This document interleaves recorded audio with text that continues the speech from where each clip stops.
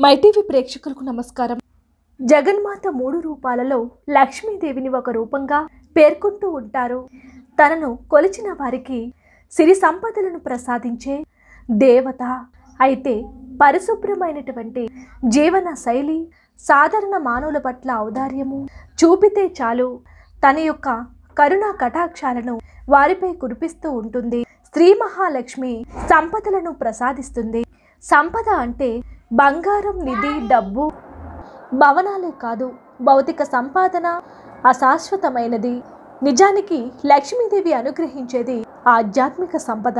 అది తరిగిపోనిది కష్ట సమయాలలో ధైర్యాన్ని ప్రసాదించేది.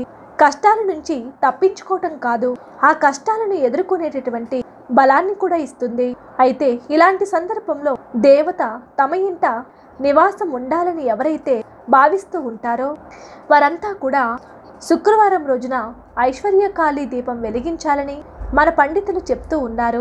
ప్రత్యేకించి శుక్రవారాలలో లక్ష్మీదేవిని పూజించడము జరుగుతూ ఉంటుంది. ఈ రోజులలో అమ్మవారిని ప్రసన్నం చేసుకుని ఆమె ఆశీర్వాదం పొందేందుకు వ్రతాలు వంటివి కూడా చేస్తూ ఉంటారు. లక్ష్మీదేవికి ప్రీతికరమైన స్తోత్రాలను కూడా పఠించడం జరుగుతుంది. కొంతమంది అయితే శుక్రవారం రోజున ఉపవాసం కూడా ఉంటారు. ఈ తరం మానవులే కాదు పురాణాలలో కూడా రాక్షసులు కూడా శుక్రవారం రోజున లక్ష్మీదేవిని పూజించేవారు. ఇలా చేయటం వలన ధనం లేక బాధపడుతూ ఉన్నవారికి ఎక్కువ వేతనము లేదా పూర్తి జీతము అనేది వస్తూ ఉంటుంది. అదేవిధంగా వ్యాపారస్తులకు అయితే మెరుగైనటువంటి లాభాలు కూడా వచ్చేటటువంటి అవకాశాలు చాలా పుష్కలంగానే ఉన్నాయి. అయితే ఈ యొక్క ఐశ్వర్య కాళీ దీపాన్ని ఏ దిశలో పెట్టాలి? ఎలా పెట్టాలి? ఏ సమయంలో పెడితే శుభప్రదమైనటువంటి ఫలితాలు వస్తాయి అనేది వివరంగా తెలుసుకుందాం. ఉప్పుతో పెట్టేటటువంటి దీపాన్ని ఐశ్వర్య దీపం అని అంటారు. ఈ దీపాన్ని ఎవరైతే వెలిగిస్తారో వారి ఇంట సకల దోషాలన్నీ కూడా తొలగిపోయి శుభాలు ఎన్నో కలుగుతాయి. ఎవరైతే అనారోగ్య వాతావరణంతో బాధపడుతూ ఉన్నారో? ఎవరి ఇల్లు అయితే కళావిహీనంగా ఉందో? ఎవరెవరు కార్యాలయాలలో సమస్యల గురించి బాధపడుతూ ఉన్నారో?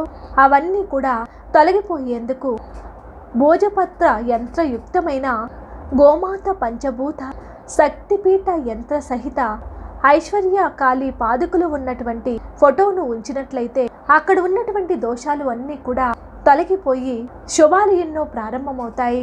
ఎవరి ఇంట లేదా కార్యాలయంలో సిరి సంపదలు పెరగాలని కోరుకుంటారో అలాంటి వారందరూ కూడా ఐశ్వర్య దీపాన్ని వెలిగించాలి. అలా చేయటం వలన సిరి సంపదలకు కొరతే ఉండదు అనేది పండితులు చెప్తూ ఉన్నారు. ముందుగా ఒక ఇత్తడి ప్లేటును తీసుకోవాలి. వెడల్పుగా ఉండే రెండు ప్రమిదలను కూడా తీసుకోవాలి. శుక్రవారం రోజున ఉదయాన్నే రాళ్ళ ఉప్పును తీసుకోవాలి. కలకండ అక్షంతలు కూడా సిద్ధం చేసుకొని పువ్వులను పూజకు సిద్ధం చేసుకోండి. వాటితో పాటుగా చిన్న బెల్లం ముక్క రెండు అరటిపళ్ళు తాంబూలం కూడా సిద్ధం చేసుకోవాలి. పూజకు ముందు ఇంటిని మొత్తాన్ని శుభ్రం చేసుకొని పూజ గదిలో లక్ష్మీదేవి ఫోటో లేదా ప్రతిమను శుభ్రం చేసుకున్న తర్వాత చందనంతో కలిపిన పసుపు కుంకుమలతో బొట్లు పెట్టుకోవాలి. బియ్యం పిండి పసుపు కుంకుమతో కలిపి ముగ్గులను వేయాలి. ఆ తరువాత ఇత్తడి ప్లేట్లను తీసుకొని అందులో పెద్దదైన ఒక ప్రమిదలో రాళ్ళ ఉప్పును నింపాలి. ఆ ప్రమిద పైన అక్షతలు కలకంద నింపినటువంటి ప్రమిదలను ఉంచాలి.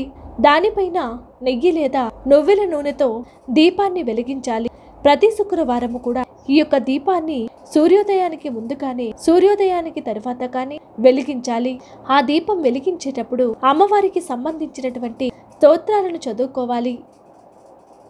పండ్లు లేదా పాలు పటికి బెల్లం కొబ్బరికాయ ఏదైనా సరే నైవేద్యంగా సమర్పించి లక్ష్మీ వెంకటేశ్వర స్వామి వారి యొక్క స్తోత్రాలను చదువుకోండి. లేదా కనకదార స్తోత్రాలనైనా సరే చదువుకోండి.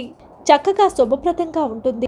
ఇలా పదకొండు శుక్రవారాలు లేదా పదక పదహారు శుక్రవారాలు లేదా నలభై ఒక శుక్రవారాలు మీరు సంకల్పంగా అనుకుని ఇంట్లో ఐశ్వర్య దీపాన్ని వెలిగించండి. ఇంకా ఈ యొక్క ఉప్పు దీపాన్ని ఈశాన్య భాగంలో పెట్టినట్లయితే మంచి ఫలితాలను తప్పకుండా పొందుతారు. ఈ వీడియో కనుక మీకు నచ్చితే లైక్ చేయండి. ఇలాంటి మరిన్ని వీడియోస్ కోసం మా ఛానల్ని సబ్స్క్రైబ్ చేసుకోండి.